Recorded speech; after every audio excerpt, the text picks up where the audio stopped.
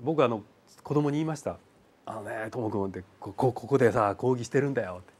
ものすごい一生懸命ね分かってもらいたいって思ってね一生懸命話してるんだけどさあの体はうなずいてるんだけど全然聞いてくれてないっていうのを分かる時があるんだよねって。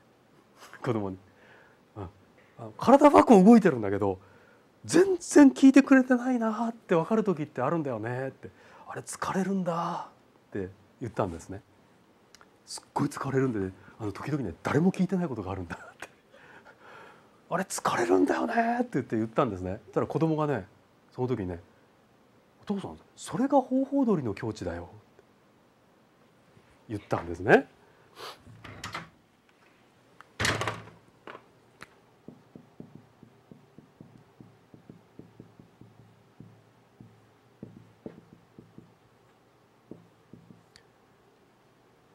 これ覚えて帰ってください。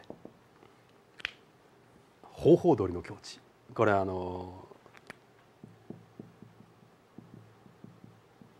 どうもひろお父さんそれが方法通りの境地だよ。ってえそれは何だ？って聞いたらね。うちの智弘息子はねよくねおばあちゃんのねつまらない話聞かされるんですよ。あれあのああなんだってじゃって。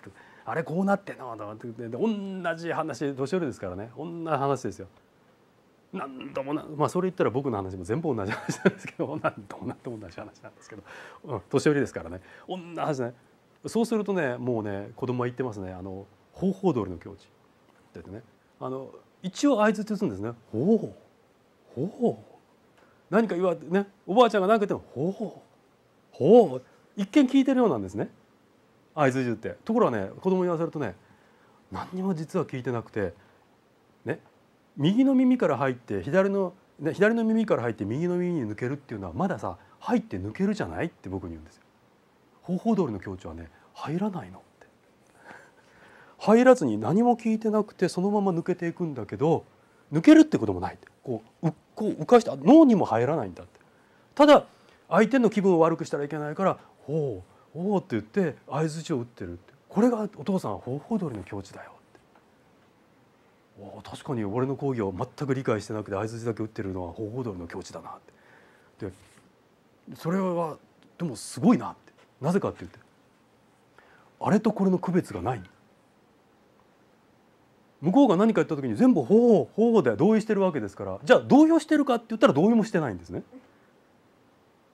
これは超越的な境地同意をしてるってのはある種賛成をしてるわけですよね。でそれは違うだろうって言ったら反対してるわけでしょ。そうほうほうは賛成でも反対でもなくそれを超越したあれとこれの区別の存在しない境地なんですね。でお前それ創始は同数の境地って言ってるぞそれを。一切のでね自他の区別を失うことにより個別存在でなくなることって創始は言ってるんだって彼は完全に自分と意見を持ってません。方法通りの境地の時自分がありません全部何か言われたら「おおお個別存在ではありません。自他の区別を失ってます。自分の意見がないんですから。賛成もしてません。お前それ同数の境地だぞ。って言ってね。お前それ方法通りの境地と言ってるんだなとか。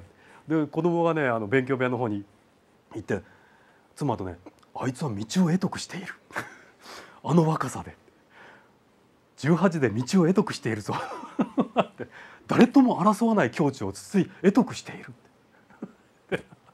もうもうね驚愕しましたけどね。ええ。彼は争いません。誰とも。わかりますね、ええ、もう自己を主張しません。私なんかまだ自己を主張してます。これはおかしいって。これはこうだとかって言ってます。自分っていうのを言ってますね。ひょっとしたら創始から見たらまだまだかもしれません。うちの子供の方法通りの境地こそねもう大いなるね無意絶対の境地に遊ぶもの そう可能性がある まあまあ冗談はこのぐらいにしときますけれどもすごいです。ええ、本当にね。ええ、でまあちょっと続きね見てみたいと思います。